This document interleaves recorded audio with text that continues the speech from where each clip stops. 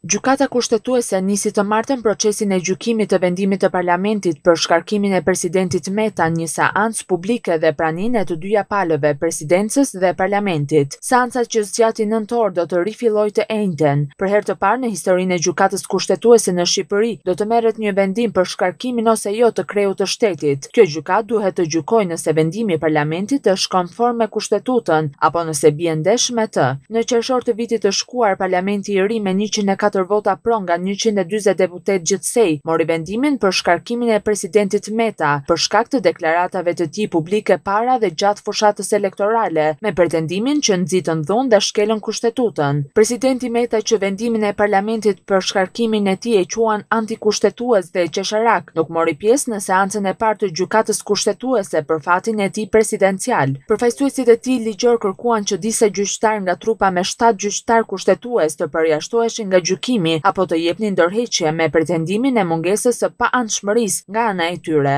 Por përfaqësuesja e Parlamentit si palë në proces e quajti kërkesën e përfaqësuesve ligjorë të presidentit, abuziv që synon të zvarrisë procesin. Procesi gjyqësor në Gjykatën Kushtetuese për të konfirmuar ose hedhur poshtë vendimin e Parlamentit për shkarkimin e Presidentit Meta ka një afat, ai duhet të merret brenda tridhjetë ditëve pas përfundimit të seancave gjyqësore. Të paktën pesë nga shtatë anëtarët e Gjykatës Kushtetuese duhet të votojnë pro ose kundër vendimit të Parlamentit. Sipas Dojçe Vele, nëse Gjykata Kushtetuese konfirmon vendimin e Parlamentit për shkarkimin e presidentit, pritet zgjedhja e një presidenti të përkohshëm për disa muaj deri në korrik, kur do të zhvillohen procedurat kushtetuese për zgjedhjen e kreut të shtetit me mandat pesëvjeçar.